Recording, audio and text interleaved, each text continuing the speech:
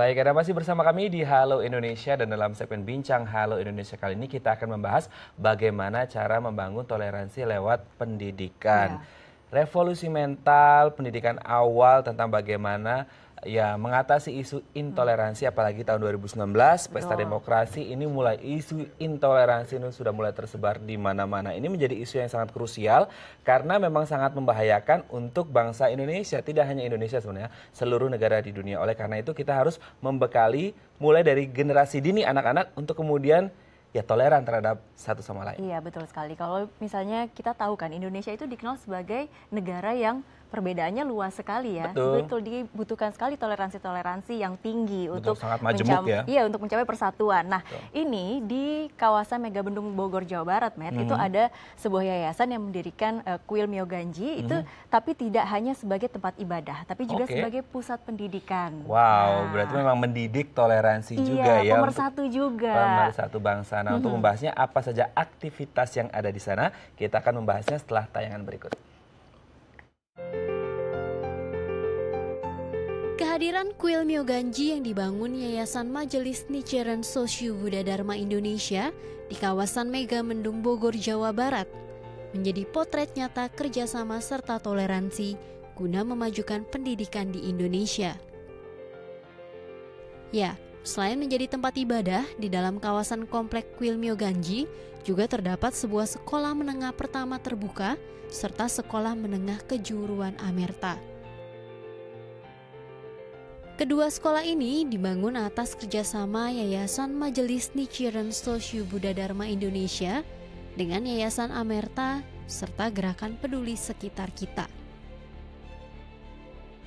Meski berada di dalam sebuah kompleks kuil, pintu kedua sekolah ini tetap terbuka lebar bagi warga sekitar yang notabene memiliki kepercayaan yang berbeda.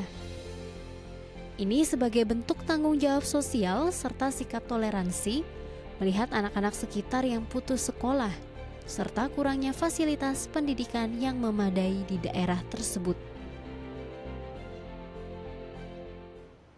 Ini Itu baru dia. Indonesia. Iya. The Little Indonesia ada di sana ya. Ada di Mega Mendung. Betul sekali. Ini sudah tidak sabar untuk membahas bagaimana kemudian uh, pendidikan toleransi ini diajarkan lewat pendidikan. Yeah. Telah hadir bersama kami di Studio Halo Indonesia, Pandita Utama Alim Sudio selaku Sekjen Yayasan Pandita Sabah Buddha Dharma Indonesia dan juga Ibu R Andini SPD selaku Kepala SMK Agribisnis dan Agroteknologi Amerta. Kita langsung sapa narasumber kita hari ini. Ada Pak Alim dan juga Bu Selamat Andini. Pagi, Halo. Pak Alim. Bapak Ibu. Andini. Selamat datang di Halo Indonesia. Ya. Kita sangat apresiasi sekali terhadap apa yang dilakukan oleh teman-teman yang ada di ya. sana karena bagaimanapun isu toleransi ataupun intoleransi ini menjadi sangat hangat diperbincangkan ya, di Indonesia dan kita harus mendidiknya sejak dini dan itu yang patut diapresiasi oleh teman-teman yang ya. ada di sana. Kita ke Pak Alim terlebih dahulu. Pak Alim, apa yang kemudian memotivasi untuk mendirikan sekolah dengan konsep seperti ini? Jadi memang uh, komitmen dari Ibu Ketua Umum kami di Majelis Nichiren Shoshu Buddha Dharma Indonesia, Ibu Aiko Sianosunoto memang berharap bahwa untuk setiap wihara, cetia maupun kuil kita di Indonesia, di seluruh Indonesia itu memiliki fungsi sosial hmm. terhadap masyarakat lingkungan sekitar gitu. Jadi memang itu menjadi motivasi utama bahwa keberadaan uh, setiap tempat ibadah kami itu harus memberikan fungsi yang sesuai dengan kebutuhan masyarakat setempat gitu dan waktu itu ya jadi di beberapa daerah tuh misalnya ada yang menjadi misalnya kita menyediakan fasilitas air bersih kemudian juga ada sekolah untuk PAUD misalnya ada juga yang untuk kayak sekolah perempuan atau kita juga bikin radio komunitas di daerah Purworejo kayak gitu. Nah Mega Mendung kita ngerasa bahwa pas kita bikin kegiatan di sana ketika bikin kegiatan lingkungan gitu kan masuk ke pelosok-pelosok tuh di hmm. Megamendung gitu dan kemudian kita lihat kok banyak anak sekolah yang kemudian tidak bisa melanjutkan sekolah karena hmm. masalah biaya dan jarak sih gitu hmm. karena mereka harus ke kota waktu itu dan itu biayanya lumayan tinggi ya ibu ya jadi uh, akhirnya kita ngerasa bahwa kenapa nggak kita dekatkan aja sekolahnya hmm. dan kebetulan kita punya kompleks yang besar jadi ada beberapa bangunan yang juga sebenarnya bisa difungsikan sebagai sekolah gitu. Jadi waktu itu kita putuskan ya udah kita start dengan SMP terbuka waktu itu hmm. gitu. Jadi SMP terbuka kemudian berkembang setelah mereka lulus kita bingung loh ini mereka ngelanjutin apa enggak ya masa selesai hmm. SMP terus berhenti gitu. Hmm. Kemudian akhirnya muncullah ide ya udah kita bikin SMA tapi kemudian pilihannya menjadi SMK karena kita kepingin bahwa Mega Mendung itu adalah salah satu fungsi utama juga untuk menjaga lingkungan gitu karena di sana kan uh, hutan dan segala macam itu kan harus terus dijaga gitu hmm. kelestariannya jadi kenapa nggak anak-anak ini kita didik untuk menjadi uh, istilahnya uh, lulusan yang punya concern terhadap lingkungan akhirnya kita pilihlah SMK agrobisnis dan agroteknologi. Jadi yang lebih modern juga gitu. Hmm. Jadi mereka bukan hanya uh, jadi petani tradisional tapi juga bisa menjadi petani yang modern, bisa berbisnis juga gitu. Jadi mereka harapan kita sih mereka punya kemandirian nanti gitu. Oh, Oke. Okay. Nah, ini kan di dalam kuil ya sekolahnya gitu. Waktu awal dulu uh, bagaimana approachingnya? Maksudnya pendekatannya kepada masyarakat pasti kan ada perbedaan itu Betul. di antara masyarakat dan juga ada sebuah kuil di sana. Bagaimana Pak?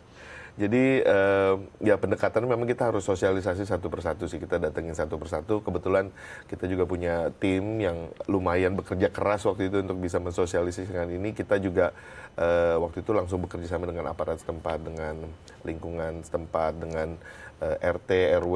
Jadi berusaha mensosialisasikan bahwa niatan kami ini bisa disampaikan ke mereka karena memang ya beneran kadang harus ke tempat-tempat yang terpencil gitu. Sampai sekarang aja anak-anaknya ada yang datang jalan ke sekolah tuh bisa satu jam gitu karena nggak ada kendaraan gitu. Jadi ya kita harus mensosialisasikan sesuatu bahwa ini ada sekolah terbuka buat mereka gitu. Dan untungnya juga ada banyak tokoh-tokoh agama lain yang juga membantu gitu. Jadi kayak ya Pak Haji di sana juga ikut membantu mensosialisasikan gitu untuk meyakinkan orang-orang untuk ayo gitu belajar di sini gitu. Oke, jadi pemuka-pemuka agama juga uh, ikut berperan penting ya. di sana betul, ya. Betul, betul. Effortnya juga luar biasa baik dari tokoh lingkungan maupun dari anak-anaknya sendiri yang berangkat bisa satu jam lebih dengan berjalan kaki iya. gitu ya. Kita akan coba tanyakan ke Bu Andini selaku kepala sekolahnya bagaimana kemudian respons masyarakat ketika memang sekolah ini dibuka dan anak-anaknya sudah mulai belajar tidak harus jauh-jauh tapi cukup ke sekolah ini saja. Iya. Ya.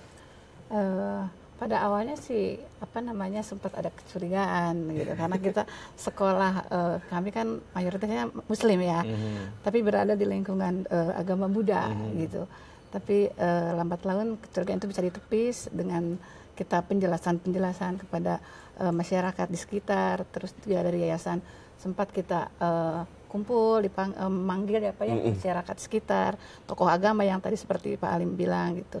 Akhirnya lambat laun mereka mulai percaya bahwa sekolah ini tidak punya misi tersembunyi atau misi-misi tertentu gitu. Mm. tidak istilahnya uh, membudanisasikan mm. tidak. Akhirnya lambat laun seiring dengan uh, waktu masyarakat mulai percaya dan menyekolahkan anaknya kepada uh, kami. Oke, ibarat kalau sebuah lagu tak kenal maka tak iya, sayang ya. Iya. Oke. begitu kenal jadi sayang. Iya, begitu kenal jadi sayang banget. Akhirnya begitu okay. kalau di sekolah situ sempat sempat bercandain tuh ada uh, biksu gitu kan. Oh, okay. gitu. Nah, kebetulan mayoritasnya kita muslim ya Pak ya. Iya, iya. Gitu. Tapi lambat laun mereka jadi bisa mengerti kan, ya, bisa mengerti dengan betul, agama ya. lain dan toleransinya ya. meningkat gitu. Ya. Oke Ibu dan Bapak kita masih akan lanjutkan pembahasan ya. tentang toleransi di Mioganji ini. Tapi nanti pemirsa tetaplah bersama kami, usai jeda kami akan kembali.